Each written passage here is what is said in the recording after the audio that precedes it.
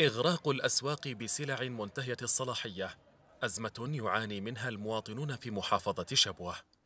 قرابة ثلاثين طنا من الأغذية غير الصالحة للاستهلاك تم ضبطها من قبل إدارة شؤون البلديات وصحة البيئة في مديرية عتق.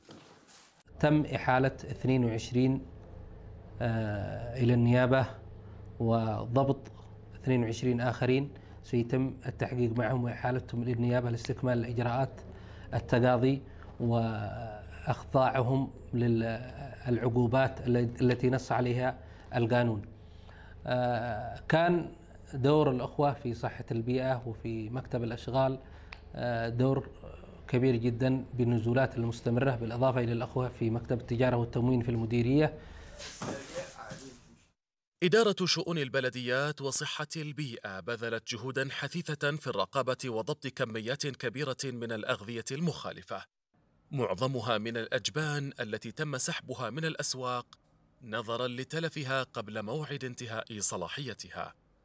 الفترة السابقة كانت فترة حر وكان موسم أمطار ما أثر على كثير من الأغذية إضافة إلى الأغذية اللي يتم ضبطها في المطاعم مثل الأرز الدقاق الأغذية البايتة.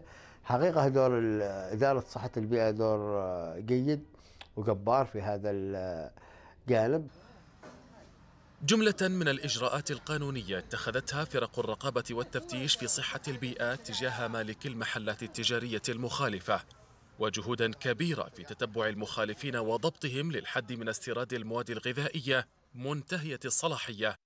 وبيعها في الأسواق.